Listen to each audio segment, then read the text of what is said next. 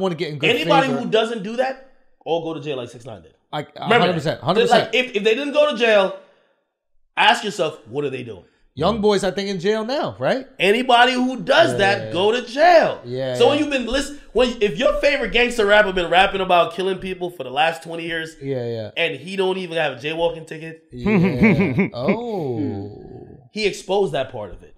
okay. So when he decides to beef, is he simply going, okay, I need to stir up the internet. Let me start talking some shit about somebody who says they're a super thug, but I know they're not. Yeah. Simply, that's it. No, no, no. Is- or No, is it is it more methodical? No, it's not because you know uh, he has a recent issue with Lil Durk, and I hate it. Yeah, Yeah, because you know one of my favorite rappers is King Von, and he passed away. yeah, yeah, And I and I consistently tell him, I'm like, hey, first of all, King Von passed. You can't keep dissing him. yeah. Like, what's your issue? And I and I even I even told him, I'm like, maybe you do need a little bit of therapy because I think the beefing at first was was was you know you just responded, and it hit in his mind is that I'm doing my thing, but I've never just dissed you randomly. Uh, I'm And responding to you talking yeah, shit I'm about me. responding. Yeah, I'm yeah. responding because you randomly said "fuck me," Yeah, yeah, yeah, yeah. and because you just said "fuck me," Now it's on forever.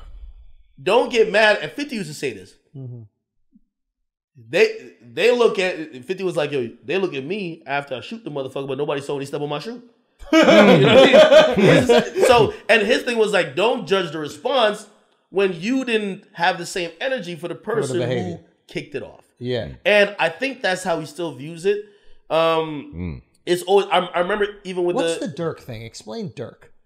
so him and Lil Durk. I, I I- I think there was pretty much almost no issue, and Durk was almost kind of in the middle when it came to um, his issue with Chief Keef, and all of a sudden when he gets locked up, he's now labeled as a snitch.